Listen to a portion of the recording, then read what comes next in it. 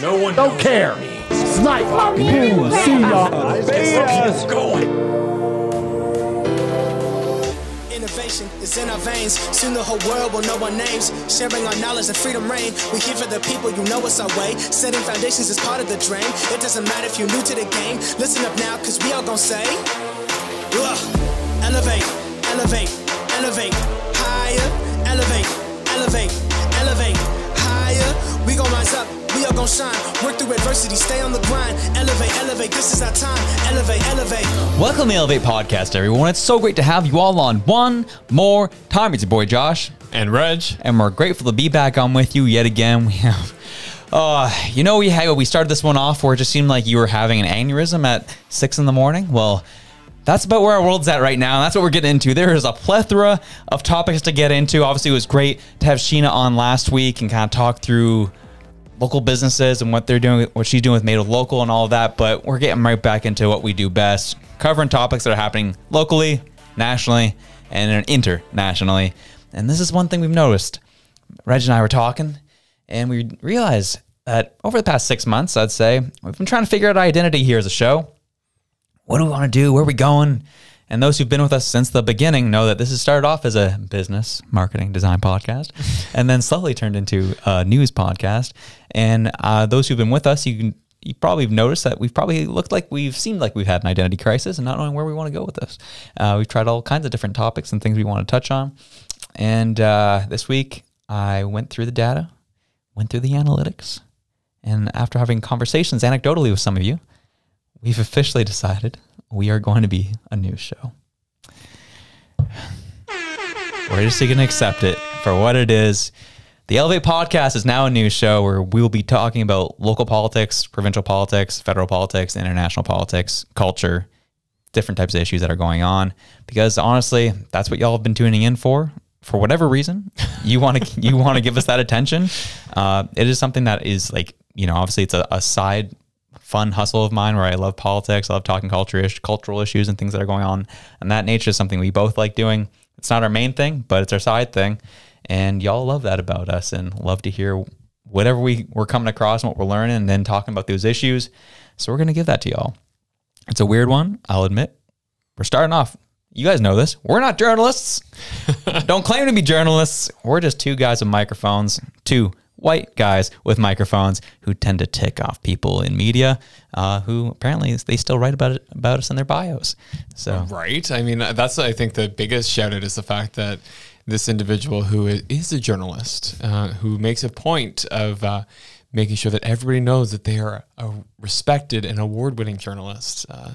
Likes to quote things that we say and then and then use it as fodder for their for their social media so i love that for us Exactly. And so, if, those who've been with us from the beginning, well, we love you. Those who've been with us for maybe a couple months, a week, whatever it is, we're happy to have you. We're to be talking about all kinds of things. A couple things that we're going to address. First off, is yeah, we are going to obviously do this show once a week, as it has been, uh, talking about news and things are happening over the past week. Secondly, though, to those who are members, we're taking a bit of a, a left turn, right turn, whatever you want to say. Uh, as me and Reg, uh, our lives have got abundantly more more hectic and he- crazy as we're both really trying to like push to get our stuff off the ground um, with e- each other's respected businesses or respective businesses. We will be foregoing um, members episodes uh, just uh, for the time being. Not be forever, but we will be canceling it. So uh, you'll be getting your money back, or if you have spent it, whatever it is. Uh, we will be uh, fin- having our last members only episode at the end of September, and then October hits. That'll be on the end of that. We'll be back to just doing kind of these Monday, Tuesday episodes. And then from time to time, maybe once a month or once every couple months, we'll be dropping a full full blown interview with someone like Sheena Russell we did last week and see how that all goes. And that is the new structure of our show, and that's what we get into. Reg, how you feeling, big dog? Good. And I, I just want to say like big shout out to Shana Russell um, because um, honestly, I went out, I bought the made with local bars. I enjoyed them. I liked them. And then I used actually the Wolfville Farmers Market website.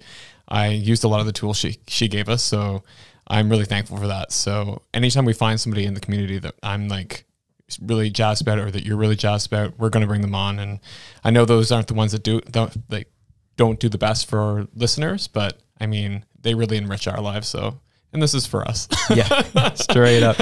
You're not wrong. So- You know, we're gonna keep these Monday and Tuesday episodes news only, uh, cultural issues only. Uh, but from time to time, as Reg says or said, we're gonna bring bring people on um, outside these episodes. There's gonna be an additional episode that we're gonna throw into it later in the week or something like that. Uh, from time to time to see how that goes, and those are for, be honest, just that's for me and Reg. Really, um, Yeah. we think they're really interesting, and and to those who do listen to those episodes, um, those are for you as well. But and, and there's a lot of gold there too, right? And the other thing that I think we talked about that is going to be fun is be on the lookout. Every once in a while, we'll drop a, a spicy 20 minute episode on just a, a hot topic of the day where I frantically text Josh and like, "Do you see this thing?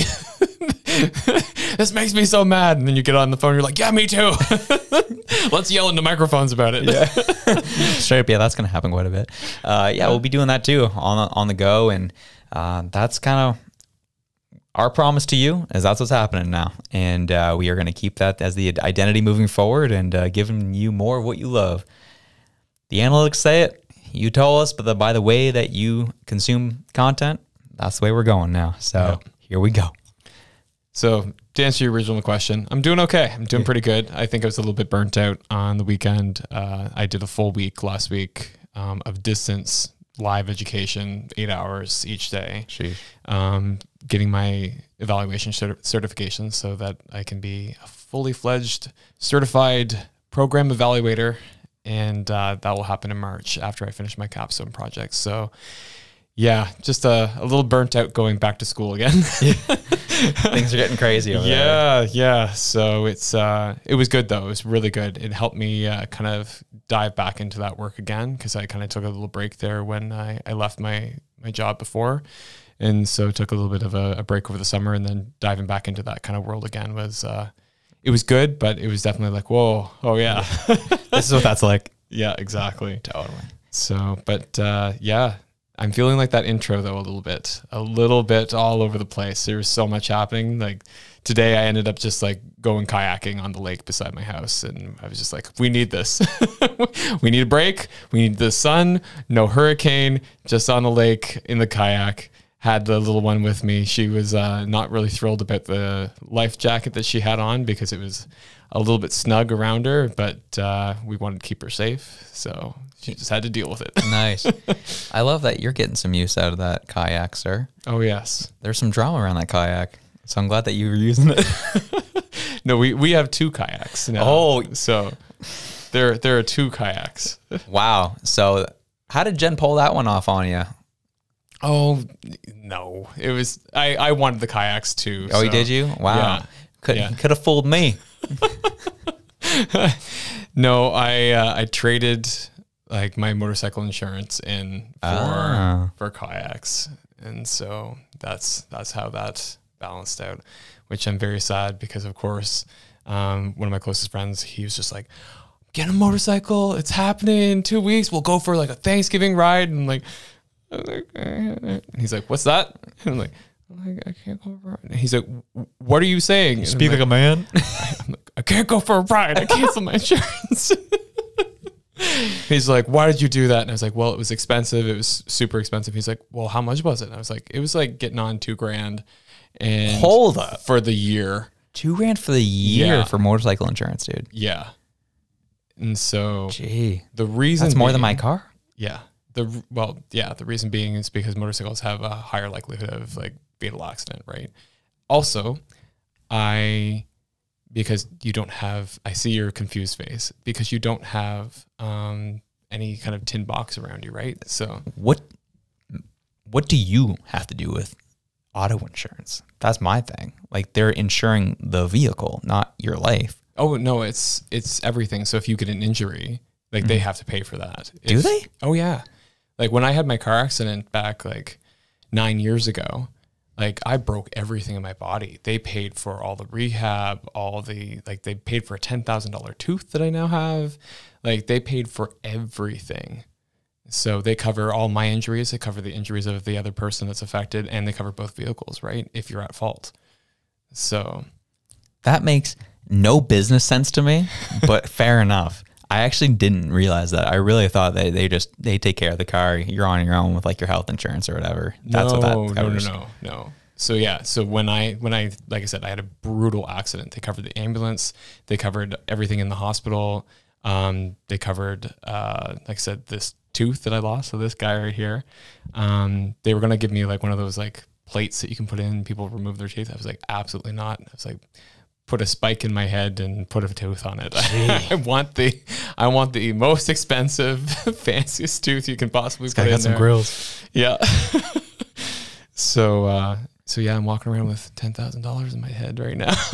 Gee, but um what's your life insurance then? yeah, my life insurance is quite high actually. imagine. Um, but uh, yeah, so I had that accident. So before it used to be like after seven years, an accident was wiped off your record. They've extended it to ten. Ah, So that yeah, so that was so a you're screwed. yeah. So I've still got another year, another two yeah, another year. This is why you know the exact year at this point Yeah, exactly. because you're counting down the days. yeah, December 2014 was when I had that accident on Christmas Eve. So uh, Merry Christmas. Eh? yeah, so now I'm looking at uh, December 2024, going, okay, that's when my insurance is going to be a lot nicer. And then the other problem was is I got a speeding ticket, two of them. How much above? Um, so the one in Quebec was, I think it was like 20 above. So that one wasn't bad because that was rush hour. Um, we were coming back from Tremblant and heading back to Nova Scotia. And we were just like on the bridge doing the same speed as everybody else. And they looked and they went, ah, Nova Scotia plates. Got him. Perfect. Pulled me over. And I was like, sir, like literally everyone around us was traveling at the same speed. He goes, I do not care. Um, this is Quebec. We, you know, follow the rules here. I don't know what you? you? do in in Nouvelle Ecosse. You know, it's like, cool. Thanks. you know, thank you, sir. Thanks for the ticket. And then the one I most recently got was in New Brunswick, um, traveling back from my parents' place, and uh, we were like trying to hit the border in time that would line up with the baby's like wake cycle. So she was asleep in the car, and we were like, okay, if we get to the border by like this time, um, she can wake up. We'll feed her, and it will be like a nice little rest stop. So I was giving it to her, and uh, this time the cops in New Brunswick actually took pity on me because I was going way, way, way too fast. I deserved the ticket that I got, and uh, I actually deserved a lot more of ticket than what I got. But he took pity on me, and he's like, "I see that you are a young family, and money is not easy to come by these days." So he's like, "I'm writing you the lowest ticket I can possibly give you." He's like, "Just slow the heck down," and I was like. Yes, sir. Thank you, sir. Okay, sir. Dude, oh man, that guy taking more pity on you than I would have. oh like, yeah. Like I don't care if you're a young family. Clearly, you don't care much about your family's life. Oh, whatever. That's where I would have went with it. yeah. No, it's it's hard because like I after driving in Germany, I was just like, why isn't it all like this? Like, why can't we just go as fast as we want to go? It's like that libertarian in me that's just coming out where I'm just like, I want to drive 200 kilometers down the highway. That's not what I was doing. P.S. Just for anybody. Just 170. no, it was it was it was like like high 140s. So, but uh what are you talking about? you and your Tesla and we uh almost smoked somebody in a crosswalk. What are you talking about? I don't know what you're talking about. yeah. Anyway, we're not so innocent over there. I don't know what you're talking about. Yeah. But I drive the speed limit every day, good. right on 50. If it's a 50, it's a 50. Not 49, not 51, it's a 50. Mm-hmm. But if it's 100, it's 100, not 101, not 99, 100. I always play by the rules. That is the biggest load of BS I've heard in a long time. Sue me. we'll take it up in court. oh my God. what are you, go. American? Talk about my libertarianism. Yeah, let's go. I'll defend myself. yeah, live free or die, right? Woo! Gee, what an intro that was. 15 minutes in, still haven't talked to anything, and it's going to be a long episode here, folks. Boy, Yes. we have some stuff to talk about. oh my God, yeah. So, first off, where do we want to start? We got a we got a- people don't know. We got a long list of things we want to get into, or have things that we could get into. And I'm thinking, Michael Chong. Do we want to get into Michael Chong? Yeah, for sure, because that's the one that I don't really know a lot about. So I'd, I'd like to hear what's going on with that, and if uh, listeners haven't heard anything about that, it might be nice for them to to get caught up as well. Absolutely. Let's do this.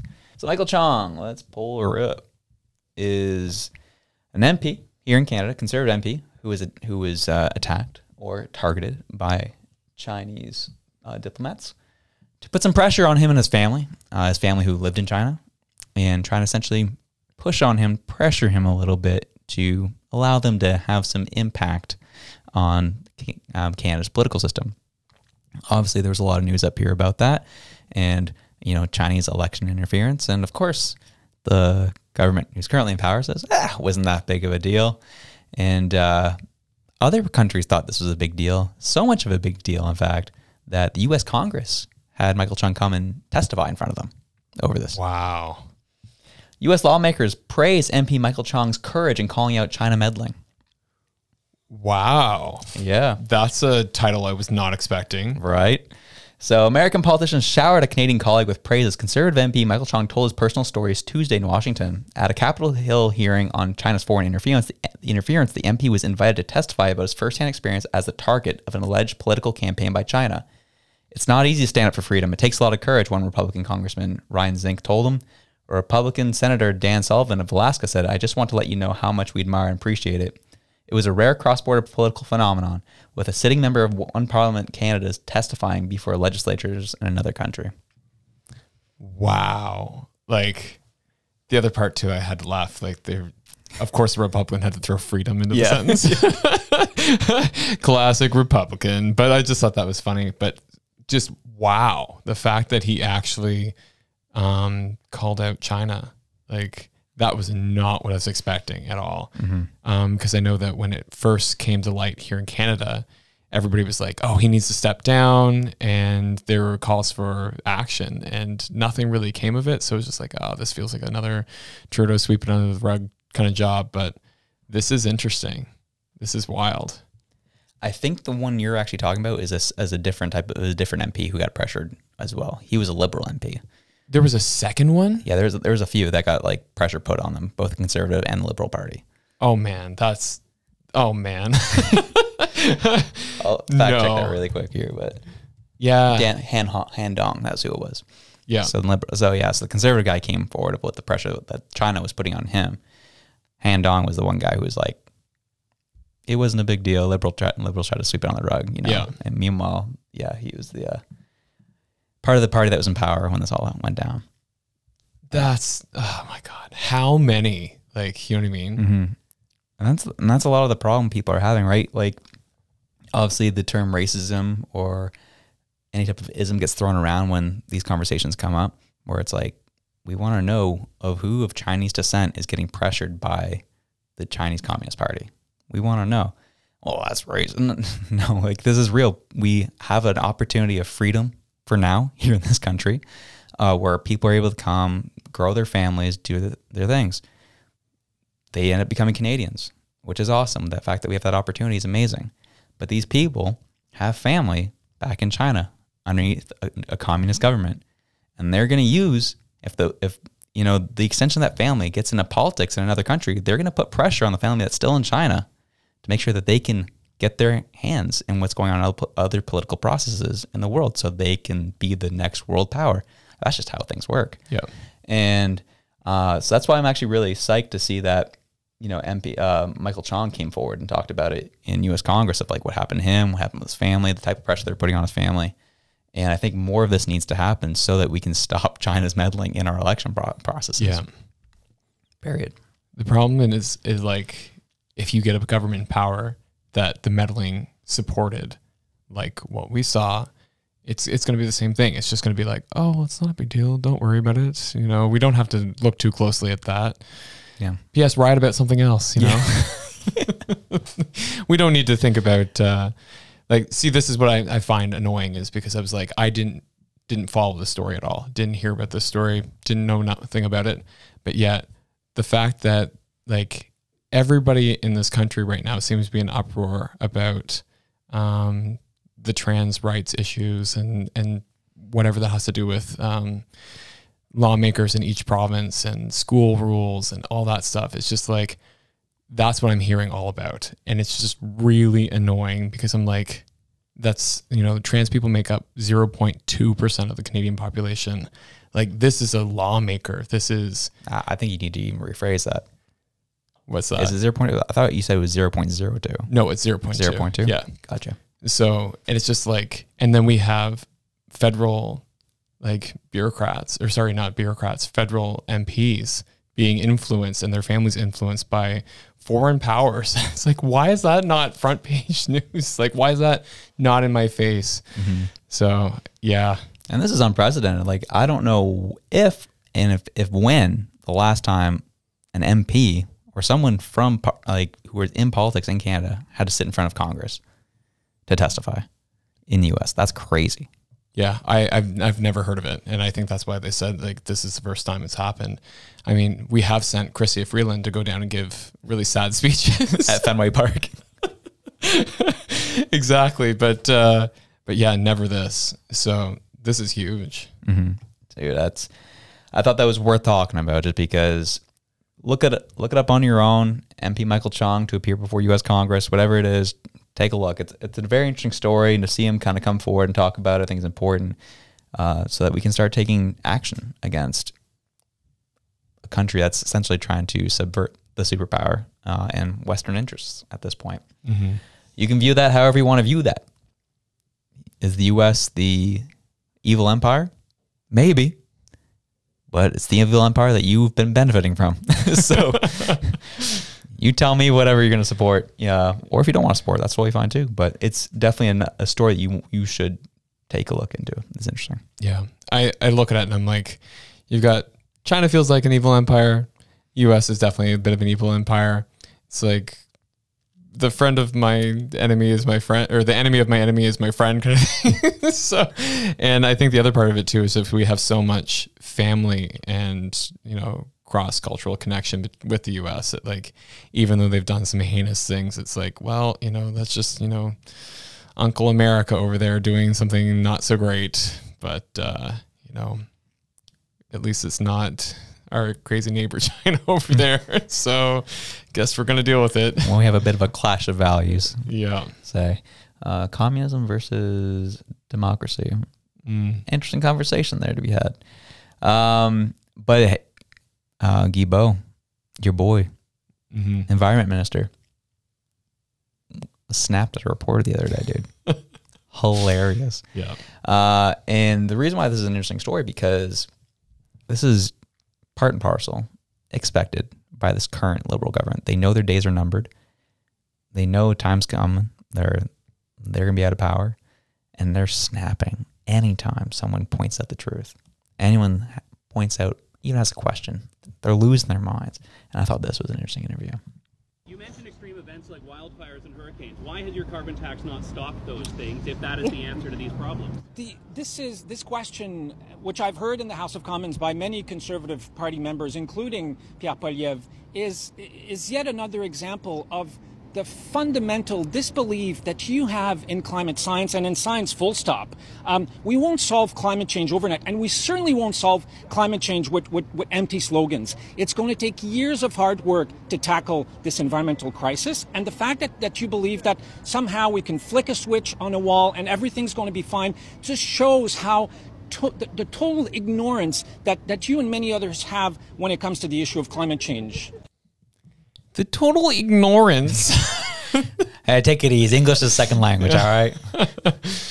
no, not doesn't count. You're a you're a minister. You should be fluent in both languages. Oh, calling him out. Good. Calling them out.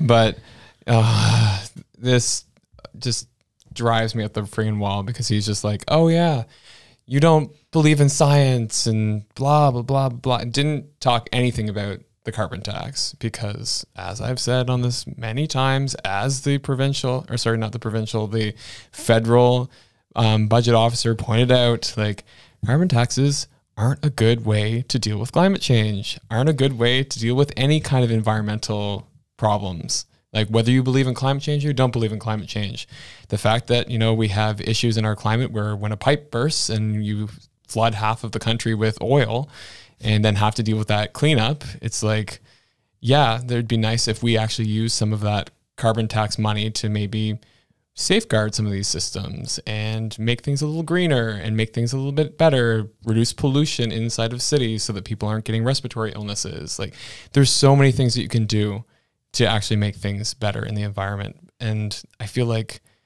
even if they are collecting the carbon tax to do that kind of work, they're not. like they're just not. like They're doing the worst version of a carbon tax you could possibly do. They tax you and do nothing with it, and, except for line their pockets and send it overseas. yeah, exactly. And that's like that's the part that annoys the crap out of me because I'm just like there's so many things you could do. Like I thought about even doing like a TikTok just on like um, just something simple like extended um, producer responsibility, so EPR. And what that means is like when you have a product coming from a producer that the product either can be fixed um, or it can be recycled easily. So meaning that like all the pieces and the components in it can just be taken apart. It's just it's not something that's like plastic lined onto cardboard that's melted into a piece of glass. Like you know what I mean? Like things that are actually easy to to separate, and so it makes it easy to recycle. Or using um, different types of plastic alloys that are easy to recycle versus like something that's a thin film that you know would be useless basically just good for an incinerator or a dump. And so these are kind of things that you can legislate and make sweeping changes and actual real difference when it comes to our waste and the things we we produce. And they don't do any of that. Because why? Because that would make it expensive. And, and it doesn't bring in revenue for them, right? So it would save municipalities quite a bit actually in their um, waste disposal systems because you've shifted the responsibility of waste from the municipality onto the producer again. The only problem in this is that when you see that cost savings, the municipality should reduce the tax burden on the people to make up for that savings because you know that the producer is probably going to tack that onto the price. But that never happens because the municipal- municipality goes, oh, sweet, a surplus now. and then they proceed to raise the taxes next year. So it's just, it's frustrating seeing some of these things happen. But at least in that scenario, you would actually see something. If it's going to cost you and it's going to hurt, at least it'd actually be doing something versus this carbon tax that is doing absolutely nothing but hurting. I'll give you five thousand dollars towards an electric vehicle. I'll give you that. Mm. Yeah. and they'll they'll give you uh, what I forget how much it was towards heat pumps. So I recently looked at heat pumps for our place, and uh, there's a program on, and we uh, don't really have the wall space for a wall mounted ductless heat pump. So we're like, okay, that's okay. We'll just put it outside and run ductwork through the basement and into the main rooms. And when we talked to the the people about it, they're like, um, we're sorry, that doesn't qualify. I was like, wait, what? what do you mean? And they're like, yeah, it has to be the ductless wall mount. I'm like, why? It's still a heat pump. Like, what do you mean? And they're like, yeah, no, um, it just won't work. We we need you to we need you to buy a, a ductless one to in order to qualify for the rebate. Is this like, efficiency Nova Scotia? um, no, efficiency Nova Scotia was great. It was actually the um, oh, I'm trying to remember the name of the company. It was a private company that was going to do Ah. the the work. They're like, you're not going to get the rebate unless you actually do the ductless one. They said because it's clear as black and white in there in the the, the rebate language. And they said we have installed them before for clients and they have not gotten the rebate and have been very angry with us. So Just a heads up. yeah, just a heads up if you're looking at heat pumps for your home. Same thing happened to me. Uh, I that's on my our first home. We installed a uh, a ducted heat pump. Same issue. Didn't get the rebate for it, even though we moved from oil yeah. to this. No, no, no rebates here. It, it is really interesting how, how they kind of make up these rules for what is what qualifies, what doesn't, uh, and it, it's just simply the amount of electricity it uses is the reasoning. Yeah, and the other thing uh, too, because I was looking at um, the fact that we have oil-based hot water, and I was like, okay, we're going to need to buy an electric hot water heater, and I was like, is there any kind of rebate for that or any kind of program for that? And they're like, nope. cool. So right now I'm still burning oil, which like sucks. Um, luckily our home is like well insulated, so we don't burn very much oil, um, even with like all the hot water and everything. But and also it's summertime, so we're not going to be burning that much oil anyway. But uh, yeah, just the fact that it's like if you truly wanted to move people from oil, you would think you'd make it as easy as possible to access rebates and to move people from oil. But that's it's theater. No, they're doing that though, dude. Oh yeah. Yeah, like they uh they- they said, you know what? No rebates. We'll use a stick instead. Yeah. and we'll jack up the price on oil, and then you have to move. Yep. exactly. Right. Yep, that's how we roll out here. It's uh, and I'll admit, yeah, like efficiency Nova Scotia has always been a joy to work with. Personally, I've never had any issues with them. Me either. They're probably like I I do admit, as someone who hates government programs, um, they're one of the government programs that's probably one of the most well run. Yeah. Uh, they, they actually have like a clear mandate and they're clear in their deliverables, and that's something I do appreciate appreciate about them. Yeah, so I actually ended up working with Efficiency Nova Scotia and Clean Nova Scotia to like do the home assessment and to get rid of like an old freezer and like do a whole bunch of different things like when we first moved in, um, just to figure out like what our energy needs would be. And both organizations, well run, um, actually efficient as the name implies. And so yeah, I have to say like nothing but gold stars for those folks. But they just can't help the fact that the federal government puts stupid, you know, rules out for how they're actually going to dole out re- rebates. So Yeah, welcome to the system, I guess. yeah, Well, I had a friend reach out after last week's episode when they heard about you know us you know getting that uh, adopting that apple tree, and you know how we took some of the apples and then you know donate some of them to the Dartmouth community fridge, and uh, and all, they're cracking jokes. He's like, "Oh, you dirty conservative! You just realize you redistributed wealth, don't you?" And I was like. I was like, and this is the problem with putting people in boxes. You don't actually know what my politics actually are, aside from what you think I believe in. The difference with this one is I wasn't stolen from and then it was redistributed. I redistributed what my wealth was and how I wanted to see it done. I do believe in donating, giving away of my resources when I have need Surplus. or surplus, I should say yeah, and no problem with it. But it's my discretion, not being stolen from on a continual basis and it being wasted away in parts of the country or other parts of the world. You mean you want autonomy in your own finance and decisions? What? Dude, who, who wants that, bro? I, I want Trudeau to think for me. I'm tired of these these days, dude. Yeah. Well, I mean, the list continues, right? So the list does continue. Um, you know what? We're gonna do this anyways. We didn't get a chance to really do any much research into this current TikTok, but we'll still share the TikTok and then we'll still talk about what kind of what we're seeing on the surface level and uh, where where we see things going here. yeah, I mean, why not? We're already in that that vein of topic, right? So- Exactly. Well, and again, to give you an idea, this TikTok is about essentially that the carbon tax isn't adding to inflation. This person's argument, who tends to be a little more left leaning, is arguing for that we need a have the carbon tax and b that's not adding to us, uh, the inflation issues that we're having. Send this video to anybody in your life who thinks that the carbon tax is the reason that inflation is occurring in Canada. You know, that global inflation that's occurring only in Canada, but also all over the entire world and is somehow less in Canada than it is in most countries. Trudeau caused that, you know. And economic analysis has shown that the impact of the carbon tax is incredibly small. Year over year, it can be considered to be approximately 0.15 percentage points of inflation increases. That means that in the average year, it accounts for 1 20th of price increases. And when inflation peaked to 8% last year, it would have accounted for 1 54th of it. So, not much. And that's especially because most Canadians, especially those who drive fuel efficient vehicles, will receive larger rebate checks than they will be spending on the carbon tax. And even when that economic analysis is extended to all other products that are affected by the carbon tax, in Ontario, the direct and indirect effects inflate prices by 0.207%, and in Alberta, it's 0.1875%. So really, still not that much. Because the carbon tax is not causing global inflation. But do you want to know what is one of the largest drivers of inflation in Canada? It's stock buybacks and corporate profits. Our telecoms and our grocery companies are making record year over year profits every single quarter telling us that it's not their fault, they're just matching inflation. while they jack up prices by 20, 30, 40, 50 plus percent, sometimes even doubling the cost of certain products like pasta. The carbon tax is not causing inflation. Corporate greed is. So I have two things there. Yeah, hit me. Yeah. Like yes and no. I, I totally I totally agree with that sentiment. It's like corporate greed is driving inflation.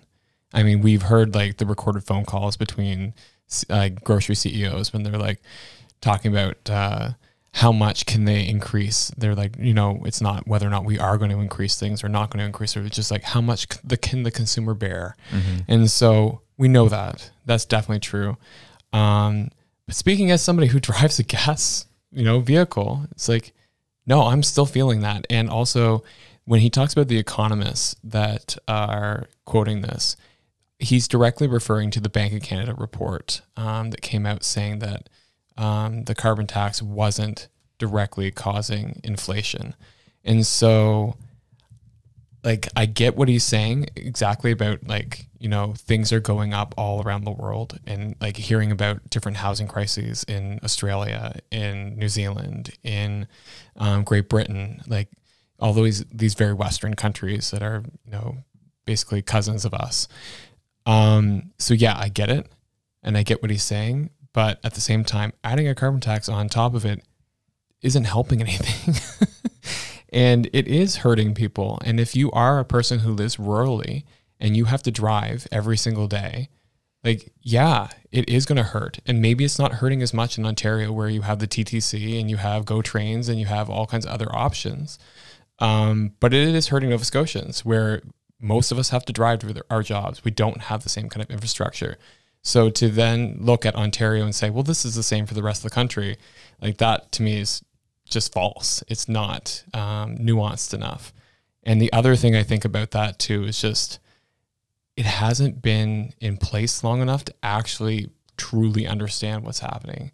Um, because I also listened to a couple different TikToks from farmers who were talking about the the actual like costs that it's causing um, to their farm operations and how much money it's it's taking away from their profitability and their ability to to remain solvent. And so I look at all that and then I'm like, okay, well that is going to drive up prices or it's actually going to create a bigger divide between um, small suppliers and large suppliers where large suppliers can absorb these kind of um, fluctuations and small suppliers can't and they go out of business. And then we're just left with massive corporate farms. So i look at this kind of stuff and i'm like we don't even know the impacts fully yet. It hasn't even been that long. Like nova scotia only had its carbon tax slapped on us like for the past couple of months.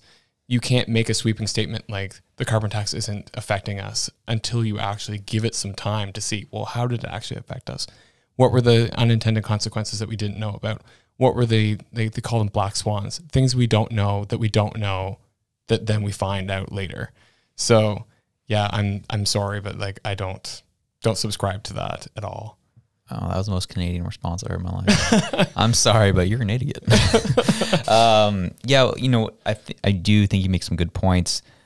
Depending where you are in the country, uh, at least when it comes to your gas and stuff you're putting into your car, you, the carbon tax is making up close to five to eight percent of your your your gas bill, mm-hmm. typically, depending where you're in the country.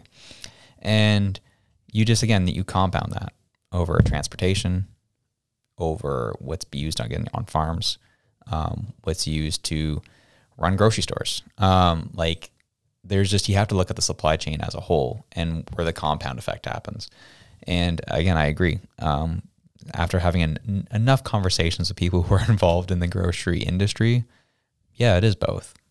There is ina- inadequacy uh, in politics and political decisions with the carbon tax.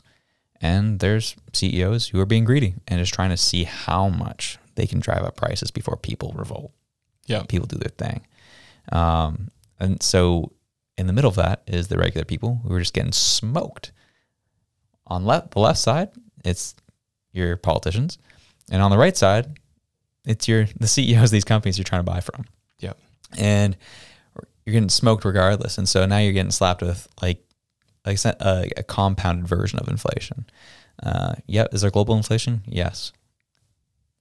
we can talk about what's causing global inflation. Uh, we can talk about what happened with Russia uh, starting April of 2021, 2022, whatever it was. And, you know, that leading to a lack of wheat being sent out and that causing some issues. And power disruptions. Mm-hmm. Yeah, Yeah. exactly. And so through that, you have all these issues again, these compound problems that continue. And our governments just aren't doing a great job with handling the issues that are coming their way. And instead of trying to kind of make it a little easier, try to cushion the blow that we're feeling, they're adding to it and Yeah. making it worse. So I agree. It is both. And we need uh, accountability on both. And you have, you know, Trudeau saying, oh, I want to tax these grocery stores more if you don't start making moves. That's the best speech I've heard. Like that was the most Trudeau speech ever. If you we don't see any significant change with grocery store prices, then we there's nothing that's off the table. Even taxes. I'm like, great. Thanks, Trudeau. What you do best, giving a Taxes. tangible gi- giving a tangible result for how they're going to achieve this. Like, there's not even like you didn't even give like a number of what you're trying to get to. Just we don't see if we don't see significant changes, then we'll tax you.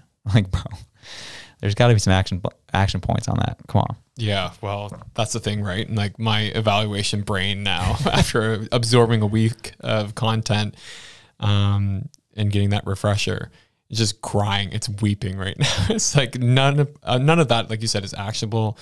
Um, there's nothing there that is actually accountable. Even it's like they could lower the price on no name products by twenty cents and be like, "Look, we made it easier," and the try to be like, "Oh my god, yes, yes." like, you know what I mean? Like, it's just it's such a bogus statement, right? And you already just said that, but I just echo it entirely. Just useless, useless words. And then the worst part of the whole statement is, you know, we're going to tax them. We're going to we're going to put a tax on them. And it's like great. So we can absorb that tax as well. Wonderful. So and you know what they're going to say? They're going to say, you know, we're sorry, we can't help it. Uh, this is what we had to do because the federal government and it's just going to be finger pointing again. It's just going to be Trudeau versus another conglomerate, you know, Trudeau versus the media. Now it's Trudeau versus versus the grocery stores. It's like, oh my God, get him out. Somebody remove him. It's a bloodbath out here. Send this guy home, please. Yeah. Yeah. Well, one thing I found interesting is I'm starting to see the CBC, CTV, Global Mail already made the shift earlier, um, but mainly CBC and T- CTV. Um, they've been having some interesting features in moments on their programming where they're starting to attack the liberals now. I know. And I'm like, oh, looks like they see the writing on the wall, what's coming. And now they're trying to change their tune a little bit because they know that their boss is getting put out of power fairly soon.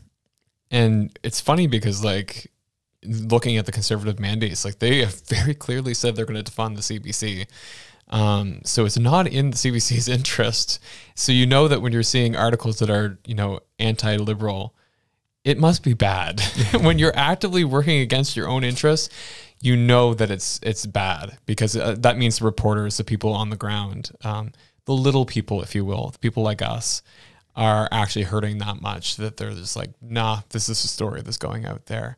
Who knows what the editors are doing to it to try and soften the blow as it goes out the door, but I'd be surprised if it wasn't, you know, a lot harsher and then and made softer for the Canadian palate. Why, why do you think they're changing their tone, their tune? What do you, why do I think uh, why do I think that's happening? Yeah.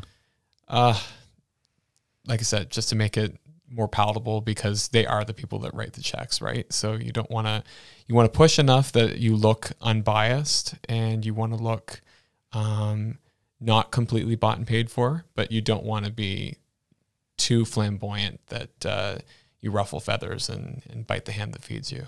Totally.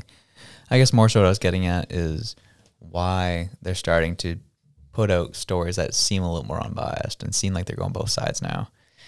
And a part of me is because, you know, as I said, they see the writing on the wall that they know that they can't write stories that are just going after one side because they know that check isn't going to come fairly soon. So not this is my just my theory is that they're starting to change their tune so that people like us will pay their will actually pay for their content. We'll pay for what they're putting out because we actually start believing and trusting they're actually performing legitimate journalism. Mm-hmm. And I think that's part of what we're going to start seeing too is this pushback of actually trying to actually share real stories that are happening. Yep. Well, whatever it means, if I'm getting something that's less biased, I think I'm going to celebrate that for what it is because I'm just so sick of seeing things so slanted that it just like makes you nauseous reading it. like there was one, um, I forget exactly the the article's content, but it was basically comparing Trudeau and Poilievre. And at the very beginning, it was just like Poilievre makes statements based on classic conservative rhetoric, and then like wrote the little piece about it, and then they're like Trudeau leaning into the science, and it was like, of course you wrote it that way, like making it look like you've got somebody who's just an old fogey, just you know we're doing it this way because it's always been done this way. And then you've got somebody who's like nuanced and who's like out there reading the journals and coming up with their own thought and, you know, making sure that it's something that is tried and tested and, and proven and data driven. That was the other part there, like data driven scientific. And it was just like, wow, you hit all the buzzwords for that one. like it was, it was so much that I was like, why didn't they throw synergy in there? I mean, you got to get vibrant. you got to get all the words. Totally. Well, that, I mean, I, I do see the our our social media feed economy. I think has really caused a lot of the issue and divide that we're seeing. Um, because as you yeah, the only reason I'm bringing this up because you, you mentioned a word there that reminded me of this, and that was buzzwords, keywords, mm-hmm. SEO. Yep. are big things, right? And so why do, why has this become such a meme of you know he called me a sexist, racist, bigot, you know, homophobic, conservative. Well, it started off back in the day. Well, it was like, well, so and so made racist comments about so and so, and then it became about, oh, I saw how much that word's coming up in the SEO results. What if I add sexist and racist? Oh, I get an even bigger result. And this is actually what has led to a lot of the just kind of one upping and because it improves, you know, the BuzzFeeds of the world, the Vices of the world, these types of news companies, this is kind of the content they'd put out because it would get so many clicks that they kept trying to add as many buzzwords and into their articles as possible to get as many people bouncing to their site as they or getting to their site as possible. And I think that's my theory is partially why we are seeing such a huge, crazy divisive rhetoric when people see injustices that at least they perceive to be injustices. Yep. Because it uh, looks better on the web page. Yeah. Makes you the first result on Zoo- on Google, and that's what's going to pay, right? Totally. So that's what gets you that ad revenue. Exactly. And that's what's more so concerning. And we've talked about this on the show before, but like we're at this point where, you know, Poilievre himself, we'll use him, where he's been called, you know, he's made transphobic statements or homophobic statements or racist comments. Um, and you're at the point where people are so disillusioned and just so like those words are just ignored now that there's like, oh, if they're calling him that, then he must be doing something right. Like that's where people are going in their reasoning at this point because we've seen so many lies put out in the media about people um, who the the machine had an axe to grind with. Yeah. And that's the thing I always, I admit, I'm happy Pierre did it, but I knew it was going to take a lot of the guts to pull it off. But when he's told before he started running, he's like, I would defend the CV, defund the CBC. And people said, you sure you want to do that? Because like your previous conservative leaders like really needed, you know, the CBC to be able to get elected. And he's like, well, they're going to come after me anyways. So I'm not going to, I'm not going to try and play nice with them. I'm just going to tell them exactly what I'm planning to do. And that's where we are. And it's funny because like when he first said that, I was like, hmm, this is not this is not winning my heart and mind. and it was funny because I remember sitting down at the dinner table with my my parents and and talking to them when I was visiting, and I was just like, "Did you hear that he wants to defund the CBC? Isn't that ridiculous?" And then my dad was kind of like, "Yeah, well, but you know, CBC is kind of like the liberal, you know, mouthpiece." And I was like, "Yeah, but it just." like we need to have some kind of national unbiased um, news source. And he was just like, well, that's not CBC. And then we like had it out for a little bit about that. And then of course, like I go back later and I'm like reading all the different things and kind of like looking at it in a little bit of a different light, trying to see where he was coming from. And then I went, oh crap. Now I have to go back and be like, yeah, dad, you're right. Look at you go, dog. yeah. That's called humility. Yeah, I uh, know. which a lot of people don't have these days. Well, you know, I I'll eat crow when I deserve it. So I'll take my speeding ticket when I've been speeding. Fair play, man. Yeah, I totally get it. I do want to kind of get into this story though. Um, it's been coming up a little bit on TikTok, but Peel Regional School Board making headlines, which is a school board that makes up a part of Ontario, so Mississauga, Brampton, Milton, kind of that western side of the GTA. Uh, and apparently they're starting to ban some books. Or rid- I wouldn't say ban, but they're re- getting rid of books. This is this is the C- CBC article. Deselecting. You know? Oh, the deselecting, deselecting. Empty shelves with absolutely no books. Students, parents question school board's library weeding process. Oh, weeding. We got that garden metaphor in Oh, there. That's, baby. that's lovely. We love weeding. Harry Potter, what? The Hunger Games, what? And Roll of Thunder, Hear Me Cry, what? Those are all examples of books. Rana Takata says she can no longer find her public high school's library in Mississauga, Ontario, which she visits on her lunch hour most days. What? Harry Potter, The Hunger Game. What? What? Those got to go. Why those? Because J.K. Rowling, she's a problem. Hunger Games, too violent.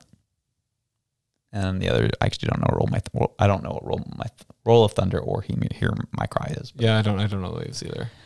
But Obviously, they weren't bestsellers. yeah, seriously. But they had to go. yeah. Womp womp. Takata says the shelves at Erindale Secondary School were full of books, but she noticed that they had gradually started to disappear when she returned to school this fall. Things were more stark, she said. This year, I came into my school library and there are rows and rows of empty shelves with absolutely no books, said Tak- Takata, who started grade 10 last week. She estimates more than 50% of her school's library books are gone. In the spring, Takata says students were told by staff that if shelves look emptier right now, it's because we had to have to remove all books published prior to 2008. They're told this by the school staff. Interesting. well, didn't you know that uh, those books caused the housing financial crisis back in 2008? Oh, yeah, they gotta you know? go. Like, They gotta anything go. that led to that crisis, you know, we don't want a second one. Gee, true. it gets more interesting.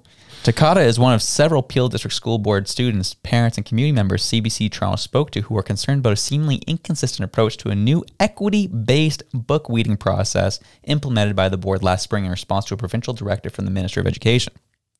They say the new process intended to ensure library books are inclusive appears to have led some schools to remove thousands of books solely because they were published in 2008 or earlier. Parents and students are looking for answers as to why this has happened and what the board plans to do moving forward.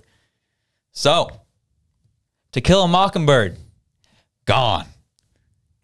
Diary, Diary of Anne Frank, gone.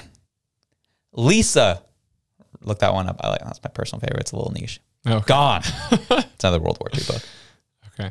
I was thinking about like The Outsiders. Did you read that one? I actually never got a chance to read that one. Okay. Yeah. That one would be gone.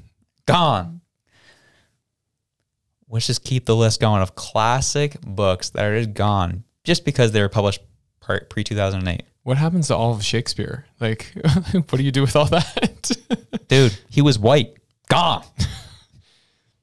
but I mean, it, there are claims that he was in the community, like the LGBTQ plus community. So maybe he might be saved. Oh, so true. Yeah. Equity and diversity. He might be a part of that, that crew. You might be right. But he was before 2008, so might be gone. Gone. Take him. Take him.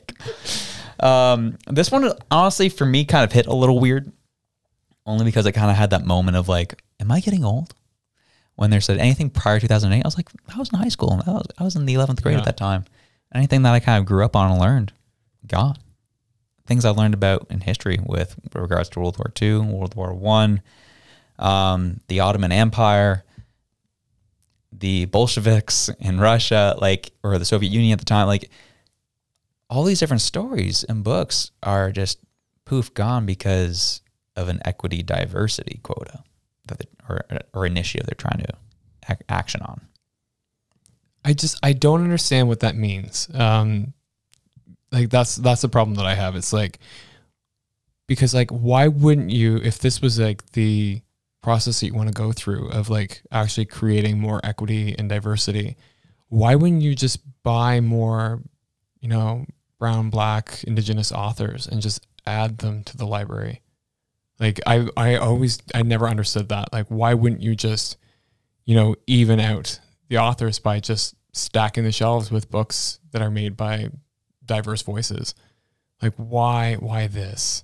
Because you get exactly what's happening right now where people are just like this is stupid.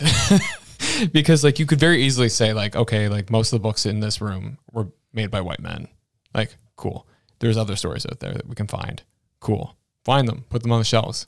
Cool. Everybody wins you get like more diverse authors in your library and people have the freedom to read what they want to read whether that be the harry potter or whether that be you know some other book like i'm i'm thinking of like uh, like silent spring or um like an i don't know i don't know more manifesto is it reconciliation manifesto like indigenous authors why not just put them in there people want to read them they'll read them don't take books off the shelves. Like that's just like I was saying before we even began. Very like 1985. Like 84. That's it. 1984. is it 84? Oh crap. It's all good. It's all good. You're liberal. I understand. oh okay. Thanks. Um, yeah, it's these are the equivalent of book burnings. Let's take these off the shelves. Do not allow our youth to learn about our rich history of literature. We've seen this in different communist governments across history. This is where it starts. It's all about diversity and uh, and inclusion. But like it's this is how you go in terms of just dictating what people can learn, dictating what people information people have available to them. And this is the stuff. This type of stuff is why you are seeing homeschooling on the rise in this country, because more of this is starting to happen. I had a story the other day, which is more of a funnier on the lighter side, but this is the type of stuff people like you know uh, are kind of annoyed by. But there was I was talking to a parent who was sitting in on a class, uh, math class with their their child, and there was kind of a parent volunteer, so there's kind of there cutting things up, whatever. And then the teacher's just writing things on the board. And it was just like maybe like a three line kind of paragraph they're writing about. This teacher had three spelling mistakes in just three lines on a chalkboard. And she's like, Bro, are you kidding me? like, bro, like, three spelling mistakes. Uh, privilege was one of the words, you know, that was misspelled. So I understand that one can be a little tricky at times.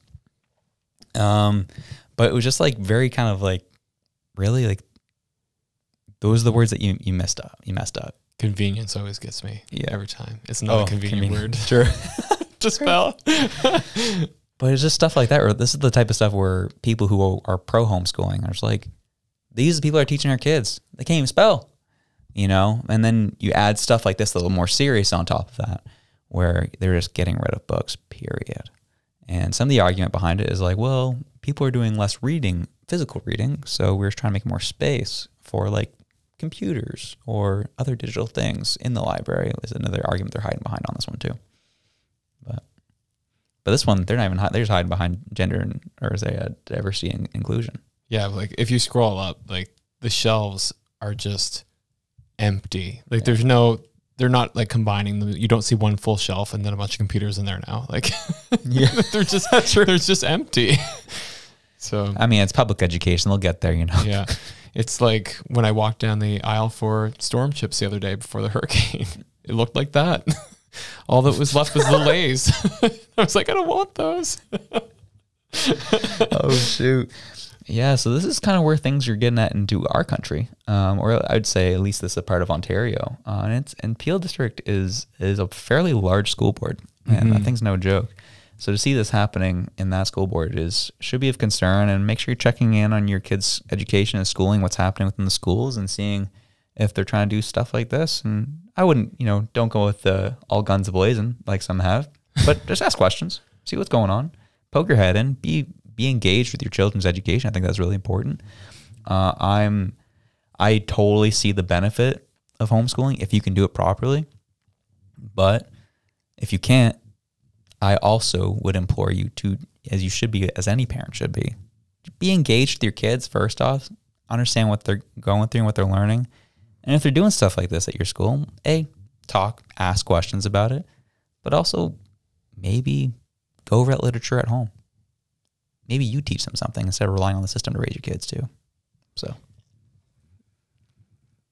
I I just have so many mixed feelings about all that. Like I'm just thinking about all the people that I knew that were homeschooled and like their social skills were definitely um, not as developed just by pure virtue of not actually interacting with different people all the time. So I think that there's so much value in interacting with different people, just the same way as having a library with different books means you get to interact with different stories.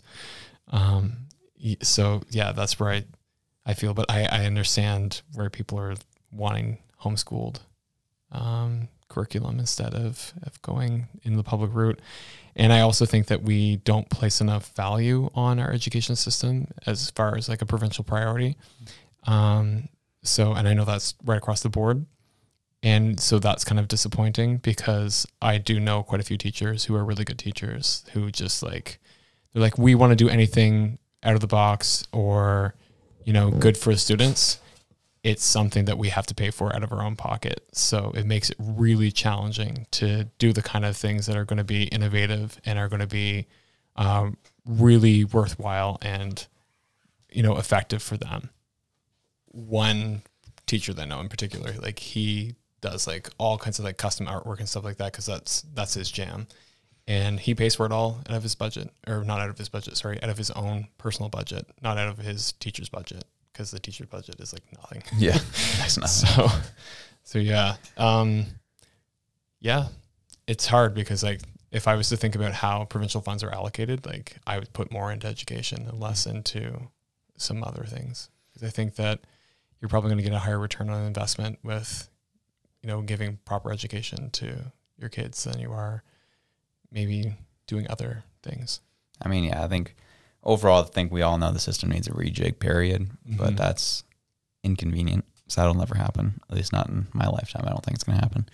Um, and I think it's going to, I think the only way that for it to be rejigged personally, because we're at the point of extremism in our culture. It's just going to happen. Like extreme things have to happen to be able to get attention. And I think it's going to be a swath of people pulling their kids out of the system for the system to finally be like, oh, we actually need to do something of value to be able to get these kids back into the system. I that's want- take. I wonder if it's going to be less people taking kids out of the system um, to homeschool and maybe the rise of more private collegiate institutes. Mm, Kind of like what you see with healthcare, where you have like two tiered health that Right. people are pushing for. I wonder if you're going to see like people push for two tiered education. mm. You could be onto something there. I've been hearing that's another thing I've been hearing people wanting to put their kids in private education as well. Yeah. There's a lot there to be there's a lot to chew on there. And so I wonder if like when you think about that, then it's like when you start to see your public um, systems, like the pillars of our society, start to crumble a little bit. People tend to to pull out and put the money into it that way. Mm, So I wonder what that says. You know, yeah. like does that mean that we would rather dictate the funds to healthcare and to education and away from other other things? Probably. And so what does that mean when we look at our people who are actually directing funds from the public purse? Maybe they're not doing the most fiscally responsible job. Mm, yeah. So, and how do we hold them accountable to that? And so I think that's probably the precursor, the upstream of all of this. It's like obviously fund education, fund healthcare, like make them better um, because that has better outcomes. But it's like before that, it's like, okay, how do we hold the people accountable to make sure that the funding is going where we want it?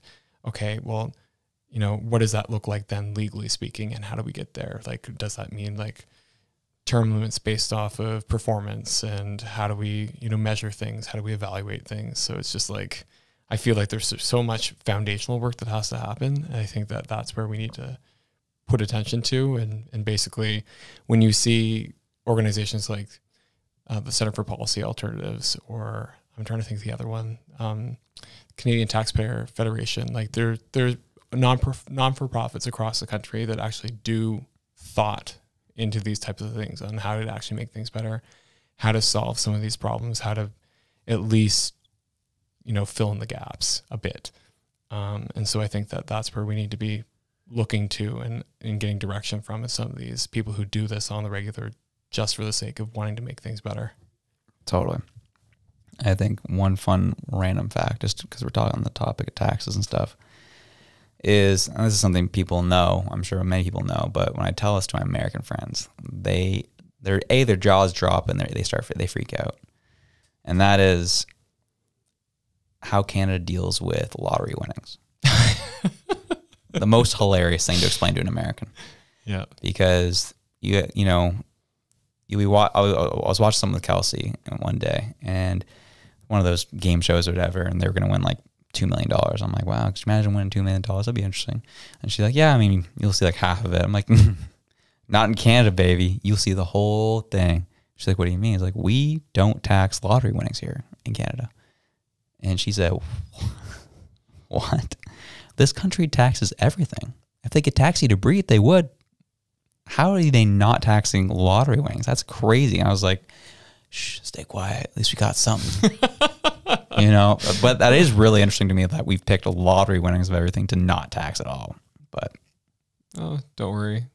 My big thing is like mega churches who also collect money and pay their staff massive salaries that are all just, you know, it's all charitable. So true. And there's no tax on that. they're pulling their private jets on it and everything too. yeah. Golden toilets. Dude, straight up. Yeah, that's really interesting. Gee. All right, let's hop to the end here. Yep. Um, this is an important story. Uh, Taiwan urges China to stop military activities happening in the region. Mm-hmm.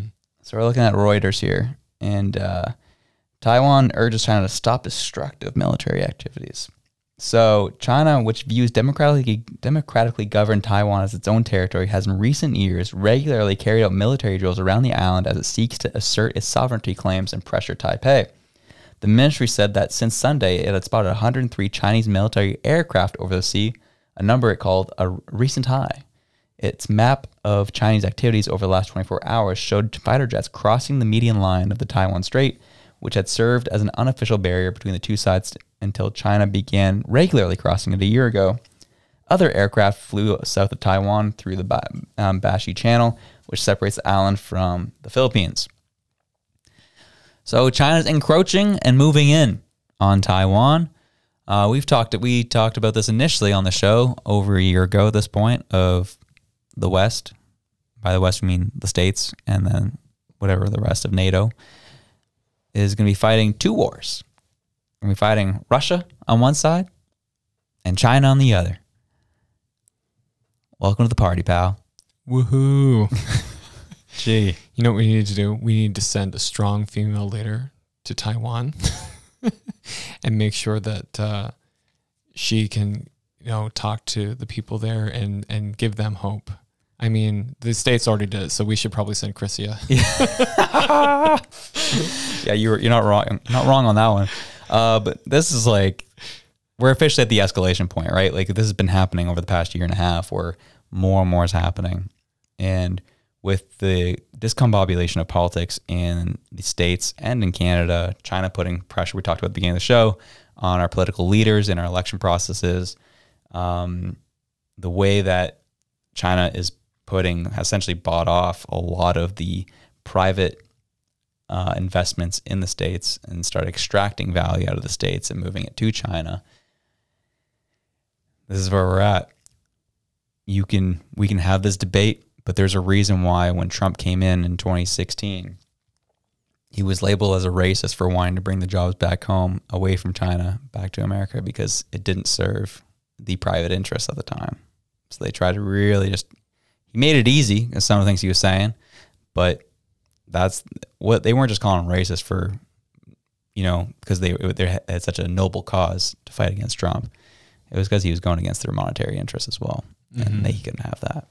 Well, it's it's kind of like the whole thing that I'm thinking about too. With like even part of the reason why I'm doing this like living locally project is like I actually want to know what can I get locally, um, and what can't I get locally if like crap hits the fan because we have to think about the fact that our supply chains are so integrated with Asia that I mean like if crap hits the fan we're going to be hit hard because they have us over a barrel they have all of our manufacturing and all of our food. Like so much of like things like garlic. Garlic is the easiest thing to grow in the world here in Nova Scotia. Like I grow garlic every year. Um takes no work. Like you literally set it and forget it. Let the rain and the sun hit it. You're good to go. You pull it out at the end of the year, take the best ones, save them for planting again, eat the rest of it. All of the garlic that you find in the grocery stores from China, all of it. it's just like, why are we not investing in our own local supply chains? And because when I look at this stuff, like what's happening with Taiwan, I'm like, they're just one bad mistake away from, you know, the US going, oh, time to time to get into this party because I feel like the U.S. is just they're looking for a fight. They're waiting for something to happen with Russia and Ukraine that's bad enough that they can justify getting in there. Um, I know that we had talked about earlier before, like there were some suspicious pipelines that uh, may have uh, accidentally imploded. We don't know what happened there, but uh, but uh, yeah, I feel like the U.S. is just itching for some kind of some kind of fight. And so, but when I think about that, I just think about the fact like, one, it's going to be the tragedy of like having a war. Like, there's so going to be so much loss of life and so much loss of land and just the impacts of the environment and everything that can't defend itself, and people included. Um, but then also just the secondary effects of like, what is that going to do to people who are already struggling struggling with housing, already struggling to just like get by in a, a quote unquote peacetime right now. Like you throw a war on top of that, and now food is limited and like supply chains are disrupted. Like it's a mess. We've got to prepare, and so part of that pre- preparation is actually supporting our local businesses, is building those supply chains locally, so that if crap hits the fan, we're not going to go hungry because we already have the infrastructure in place. Totally.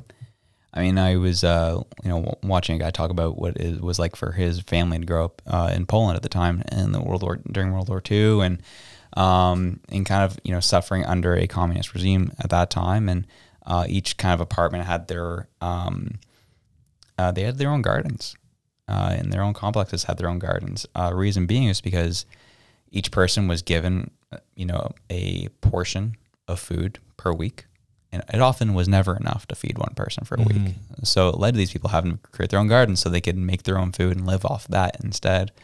Um, and if that were to happen, a, a version of that happening here, where you, you know, you said war breaks out, supply chains are absolutely cut now. Like we're screwed. Like if you're at war with China and Russia, actively hot war, yeah, we're not getting shipments from them anymore No, you know, and uh, yeah, your garlic ain't coming from them no more.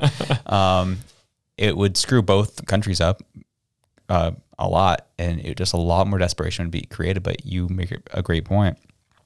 We have to find a way to be more reliant on ourselves as things have escalated to a point that I've never seen them escalate to in my lifetime. It's make it's gonna make sense for it to. It's, I think it's gonna hit a point where we're gonna see hot war. I hope we don't. I hope it doesn't happen, but it's seeming more likely, especially as China puts more pressure on Taiwan. And I don't know what's gonna happen with this upcoming election in the states. there's so like there's just so much, right? Like there's I so much to consider that I don't know what's gonna hit first. And I keep seeing Kamala Harris come out and say things like, "Oh, you know, if if something happens to Biden, like I I will step up to the plate." and like of course he will. actually like making these statements. I'm like, is something going to happen to Biden? Like somebody needs to like tell him. like, I mean, he's not fully Mitch McConnelling at the podium, but I mean, when you've fallen down the stairs and off a bike and down a straight flat ramp like you know that many times I, I start to wonder like you know he is getting up there but at the same time like i said when your vice president keeps making all these statements like if if the time came that you know something was was up i'd gladly step into power and, and lead and it's like Nice. That's a little uncomfortable. It makes me think of like Hamlet, you know, the king's brother just swooping in. Yep. oh, but that wouldn't be a book you would be able to read. Oh, true. yeah, that, that, Not in the Peel region. no, we're getting rid of that one. There's already fights happening internally in the Democratic Party, which I think is interesting. Um, they want Biden to step down so badly, and apparently, with whatever cognitive ability he has left, he's saying, "No, I can go another term." Classic boomer. Yeah, true. Get out. you're done. and uh, and I'm like, I'm sorry, Biden. Like, you know, you you pulled it off the first time around barely. Uh, in I would say, from my perspective, was a dishonest election. Um, you barely, you still barely pulled that one off. Now that you really ticked off most of America, uh, you've lost at this point, based on polls, you've lost upwards of five to six percent of the black vote, which is what they rely upon to get power. You're done you're done, you know? And so, of course, they're going to need to get someone else in there, a little fresh face to be able to take on Trump, who's, he's coming, whether you like it or not. And people are very much in support of him. He's, his approval rating, or yeah, it just keeps going up of like people who are going to vote for him. It's just going to happen. So, um, I suspect, I don't actually, I would say I suspect, but I have a, I have a feeling I could see it happening where hot war is instigated sooner before, before that election so that they have a reason to maybe push it off. Yeah. It's interesting because I think about Biden and I think about Trudeau and then I think about Trump and I think about Poilievre. And I think the defining factors for me that I look at, it's like if I'm Russia or China and I'm looking at the governments of these two countries and I look at Trudeau and I look at Biden, I'd be like, they're weak. Like you got one who's very pretty and will say whatever he feels like saying, half the time screwing it up. Um, and then you've got another guy who's, like I said, falling over, standing up. So it doesn't it doesn't appear like if this is your champion, you know, you look at that and you're like easy. Um, the one thing I'll say about Trump and Poilievre is that when you listen to them speak, even if what's coming out of their mouth is garbage, at least they're saying it with conviction, with like actual power behind it, where you're just like, oh, these people mean business. Like, Stop there's a, around. there's a little bit of crazy there, then just enough that like I, I gotta I gotta watch myself. So I feel like that's kind of what people need a little bit. And so I think that if the liberals ever hope of, you know, getting somebody into power, what they need to do is they need to actually lean into that, finding that strong voice and somebody who's actually going to stand up for their liberal values, but in a way that's not performative, that's not um, disingenuous, and that's not just like very flowery and, and weak. They need somebody who's actually going to embody strength um, because that's kind of what I get when I see it Poilievre. Um, I don't agree with some of the things he says. Some of the things that he says, I hope that he does when he gets into power. Um, but yeah, at least when I look at it, I'm like, even if he doesn't do the things that he says, at least Canada's not going to look like we're just a bunch of pushovers. And I feel like that's what we look like right now with with Trudeau. And I feel like the states feels the same way with with Biden. They look and they're like Sleepy Joe, you know, asleep at the helm. And so they need somebody who's going to get up there, who's going to make noise, who's going to be fiery, who's going to be spicy, and who's going to actually draw attention and and let people know that they're not to be messed with. And I think that's what's I think that's why you're going to see the elections go the way they're going to go. You make a good point about conviction. I'll ask this question. Who in the Liberal Party do you think it embodies conviction? Who you would like that strength? Hmm. They embody strength. See, the problem is the people that I would say got kicked out by Trudeau. So Exactly. yeah, I would have I would have said Jody Wilson Raybould for mm-hmm. sure. I think that she could have been the next female prime minister of Canada, and I would have been proud to support her. And she got kicked out. Yeah. So even Jane Philpott, who backed her up too, was just like, "No, this is wrong. What you're doing is wrong." He was like, "See ya." like you know what I mean. So for somebody who's a quote unquote feminist, you know, oh, there's two very strong, educated, well spoken, powerful women that you just kicked out. So yeah, I don't know. I don't know who embodies that right now because, like I said, he kicked them out. Yeah, exactly. None of them. There is nobody in the Liberal Party I would actually say has that. I think Sean Fraser's weak. I think the representative for Ajax, I'm forgetting his name, he's weak. Chrystia Freeland, weak. Um, uh, Melanie Joly, I don't think she's an MP, but she's still she's weak. When you don't, as a Liberal Party, when you get into identity politics, and one of the identities that you uh, villainize is strength, or you know, quote unquote traditional masculine energy, whatever you want to call that. When you alienate that out of your party, you're gonna have a bunch of weak leaders. And I think that's what's happened. You have anyone who stands up to Trudeau was casted out. Anyone who has a strong personality casted out. And when your your leader is weak to get um, from the get go, and then anyone he just casts out anyone who's stronger than him, which is a lot of people. You're going to be left with the bottom ten percent of people who are just weak. So Well, it's and when I think about weak, I think of like not physical strength. I think of that like being a sycophant or like just yes man. yeah, Like, exactly. no, No, backbone. no backbone, just going with whatever is said. Because, like I said, I I really thought Jody Wilson Raybould. I was like, I was really, really impressed with her. Um, and I think that, like I said, if she would have been in power, I think you would have seen a lot more people. I think you definitely would have seen the entire Indigenous vote come out and, and fully support. Um, because she probably would have did something instead of talking about clean drinking water on reserve. She probably actually would have brought it. But um, yeah, exactly what you said. Like he he's completely created a, a group of yes people around him, and and that's that's what you get. dude. Well, today was their first day back in question period, and uh, seeing everyone stand up and, and give them a standing O to start off Oh, I know. cracked me up. I was like, what a bunch of losers. Oh my gosh. All right. Well, that's the end of that. Let's hit our wild card segment and the sucker off, dude. The difference between men and women. One of those hilarious TikToks Oh, I I came across this week. Yeah. Dude. I'm all about like those like personality types, and it's it's basically like I don't know what are the what are the astrological signs where they're like, what year were you born? Under what moon?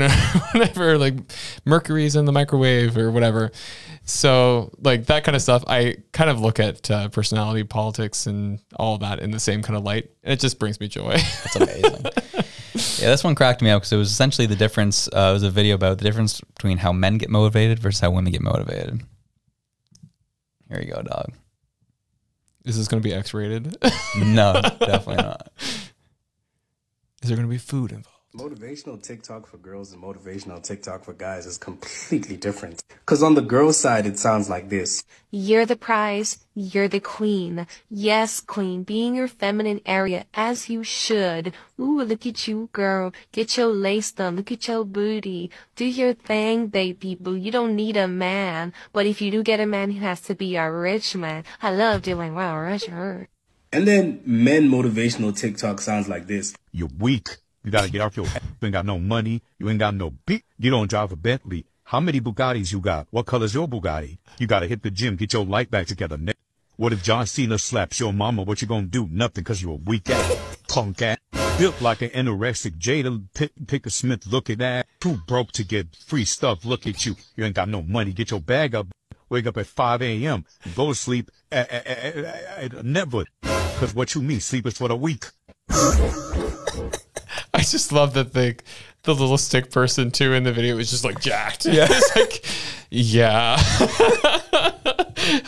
oh, usually though, like my the ones that I see that are super motivational, like it's got the theme music from Gladiator. Oh, which, nice, Like yeah. I love that movie. I can't help do. it. It's my favorite movie of all time, and so.